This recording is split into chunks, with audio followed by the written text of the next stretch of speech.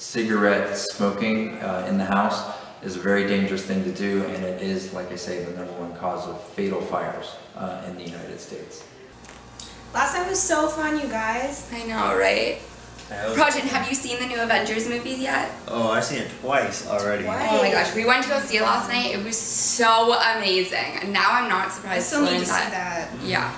No, it was so amazing. You saw it twice. Who did you go see it with twice? Uh, David twice. He was Charles. Sorry, we Oh. don't smoke inside the house. Oh, really? Oh, Uh, okay. But I made this really cute designated smoking spot outside. I can show you. For sure, let's do it. Okay. Here, Proj, you can pick whatever's on the TV now. Uh, show? If you are going to smoke uh, at your house, it's always best to smoke outside. Uh, smoking inside is uh, causes of fires, like we just talked about before, but also secondhand smoke. Uh, and smoke in general is just toxic to your lungs. You also want to make sure you have an ashtray or something that's going to connect, collect the ashes.